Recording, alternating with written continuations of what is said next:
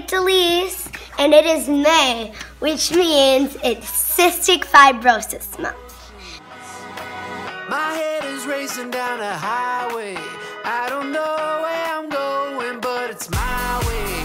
That's when I stop tripping, thinking about what I'm missing. I feel so good, I might just say it again. Just wanna stop tripping, thinking about what I'm missing. I feel so good, I might just,